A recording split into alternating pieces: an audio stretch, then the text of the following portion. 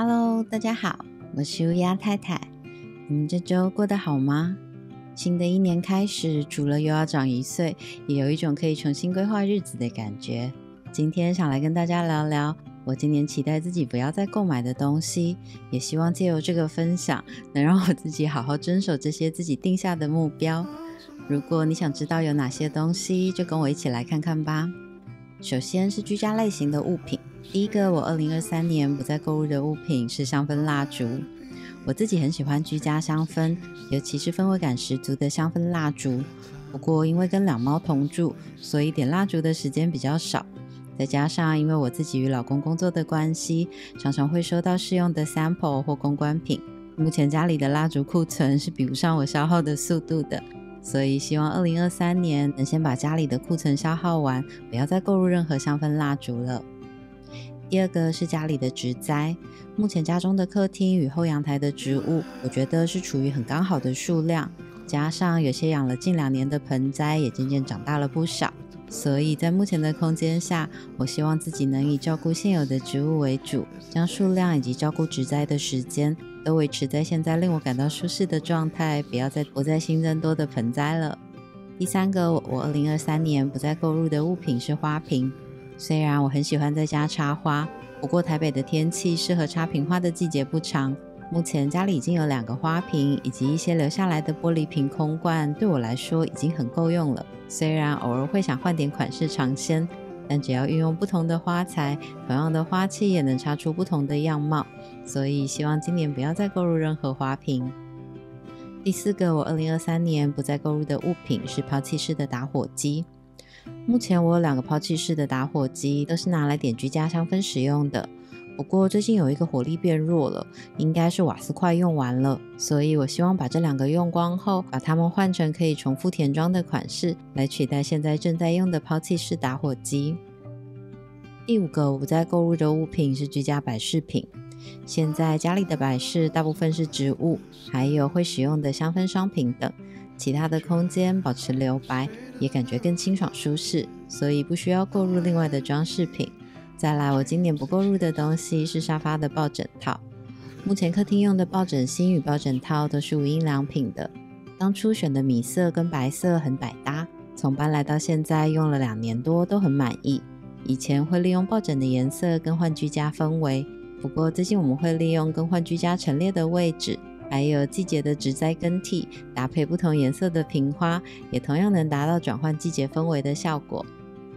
第七个，我二零二三年不购入的物品是第二套床组。目前我们使用的是纯棉的全白床组，虽然白色的床组比较需要勤劳的更换。不过我跟老公都蛮喜欢这组的，大约每一到两周就会利用周末的时间洗好送去烘干，当天就能换上，也不用烦恼收纳的问题。希望今年也可以持续下去。再来一个不是实质的物品，却是我们每个月的固定支出。第八个我不会购买的是订阅制会员。不知道大家现在看影片的习惯是什么？我们家目前没有任何有线及无线电视，所有影片的来源都是各种网络串流平台。但因为一开始想看的片源蛮分散的，加上单价又不高，一不小心就订了几个不同的平台来看。目前试用了两年，已经可以确定哪一些是比较常看的。趁着年末把少看的平台终止订阅后，二零二三年也不打算再加入新的串流平台。再来是厨房相关的物品，首先今年希望自己不再购入的是囤货的罐头。前年疫情开始三级警戒后。家里一直有囤一些罐头的习惯，不知道是不是因为这种以备不时之需的心态，这些罐头放了好久也都没有打开来吃的欲望。年前整理橱柜，把它们清出，也终于开始消耗这些库存了。希望二零二三年可以不用再因为疫情囤积罐头，早日回归到正常的生活。再来，二零二三年我不再购入的是非消耗性的厨房工具。这边说非消耗性的意思是不算入像是抹布啊、海绵等需要定期更换的工具，而是调理时使用的道具，例如量杯、削皮刀、锅铲、滤网等。二零二二年末去了趟东京，因为新增了几项自己看很久的调理工具，今日在厨房煮饭时也有一种道具齐全、想要的物品都有了的感觉，所以今年不想再新增任何厨房的工具。接下来，我今年不再购入的是单一用途的调味料。不知道大家在整理冰箱与橱柜时感到最困扰的是什么？我今年发现我家冰箱内流动率最低又蛮占空间的是各种调味料，尤其是那些已经调好的单用途调味料，像是韩式烤肉酱、日式胡麻酱或是甜辣酱这些。因为用途比较单一，调好的味道也不太适合在料理时与其他口味调和，所以希望今年尽量不要再购入单一用途的调味料了。再来，二零二三年我希望不要再购入的物品是果酱。之前有看过我影片的人应该都知道，我家老公比起我更喜欢吃甜食。不过有时候看到口味特殊的果酱，我还是会忍不住想带回家，想着有人帮忙一起吃。不过，其实老公更喜欢的是草莓或是蓝莓这种定番款，不太喜欢特殊口味的果酱。所以，如果我自己吃不完的，不应该盘算他帮我一起吃，只购入自己可以吃完的东西，就不会浪费了。再来一个，我今年不再购入的是几点的东西，不管是超市、超商或是量贩店，现在几点的换购商品都越来越厉害。也常常有很多知名的品牌加入，像是知名的道具组、厨房家电或是锅子。不过这些换来的东西，就算价值高或是换购价相对划算，也常常不一定是最适合自己的款式。换来了也因为不常用而闲置，加上购物时会因为想几点而多购入一些商品，往往一不小心反而花了更多钱。所以今年我不会再购入任何几点换购的商品。最后一个我不再购入的厨房相关物品是杯子。目前家里的杯子已经很足够我们两个人使用，加上我跟老公的工作形态都很常收到公关品或是年节的各种礼盒，其中杯子也算是蛮常出现的品项，所以家里的杯子数量一直有递增的趋势。也希望借由年度盘点的机会，提醒自己今年不需要再购入任何杯子。最后这一类是我个人物品的类别。第一个，我今年不再购入的是运动服。目前我有两件瑜伽裤与一件运动裤，加上两件短袖的运动服、运动内衣。对于我每日在家做瑜伽、一周去教室上课一到两次的频率来说，已经很够用了。在没有破损需要更换的情况下，今年不打算购入额外的运动服。再来一个，我今年不再购入的是分类与收纳包。其实我的收纳包运用范围蛮广的，除了带出门或旅行使用，我也习惯用化妆包当成居家收纳用品。不过家里的收纳包数量已经足够了，也常常会收到装公关品的束口袋，就算用坏了需要更换，这些数量也已经很够我使用了。也希望先消耗掉这些库存，不要再购入任何的收纳包。再来，我二零二三年不再购入的是日志本，我一直有使用年度工作日志的习惯。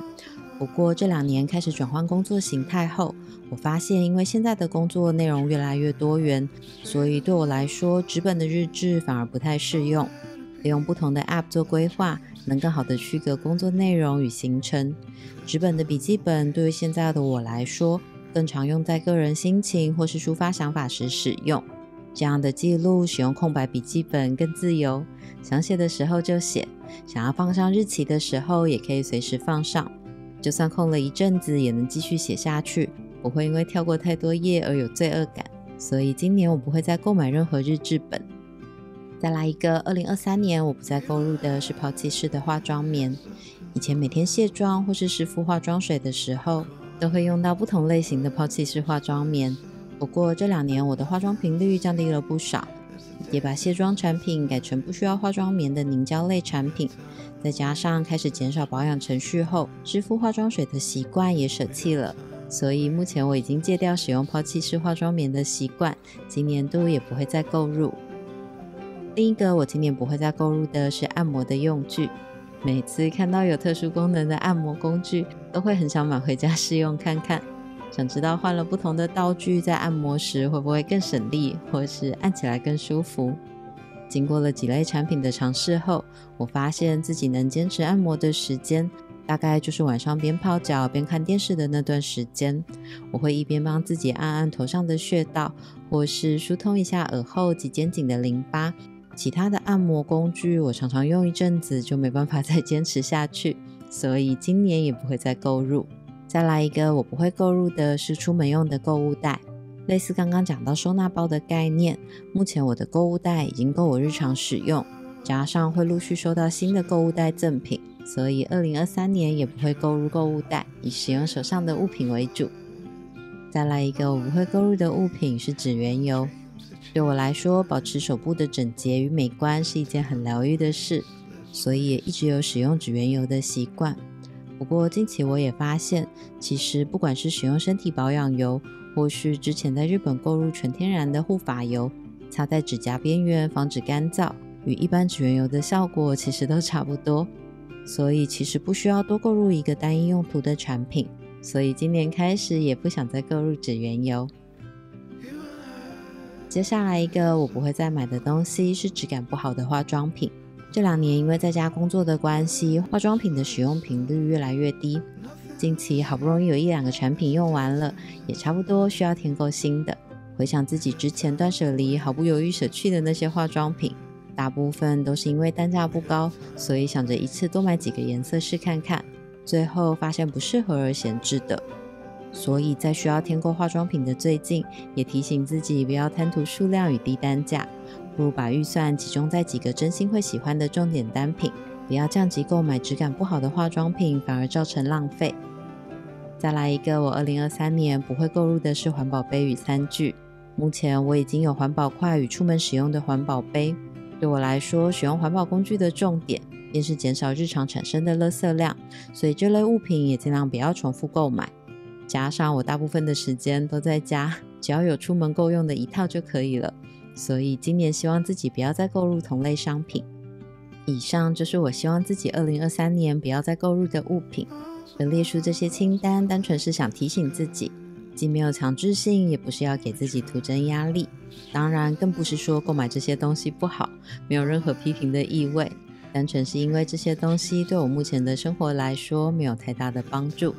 所以，如果里面有提到对你来说很有用的东西，也希望大家能不要被我冒犯到哦。